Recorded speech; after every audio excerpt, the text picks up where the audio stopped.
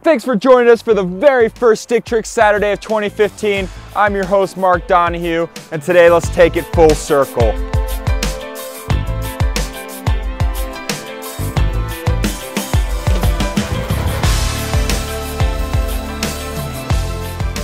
This stick trick was sent in by one of our awesome fans and I decided to pay tribute by learning it myself. So we're gonna start by getting that ball on the sidewall stall and send it over to our open hand like we've been practicing in a bunch of tricks this year.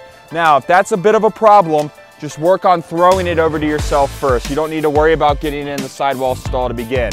But once you have that, you don't wanna just stop here. You wanna catch that ball in a full motion so you can get it behind your back.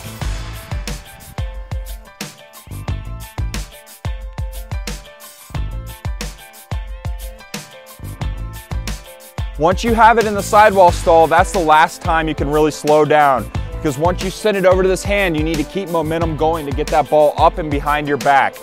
Keep it in two fingers, and once you bring it up to about your waistline, just let go, and the momentum of the ball will carry it up and over your shoulder.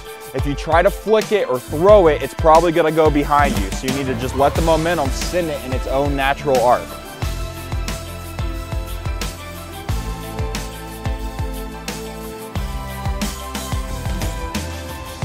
So that's it. We just caught the ball. Cool, so what? Now let's land it in a stall.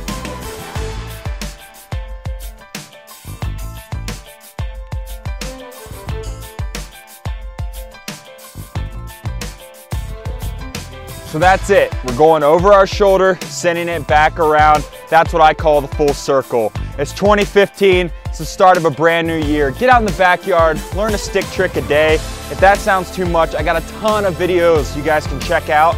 Get out there, practice them, make yourself a better lacrosse player in 2015. If you're sitting on your butts, your opponent's out there working, so you need to get out there and bust it too. But until next week, guys, thanks for checking out Stick Trick Saturday.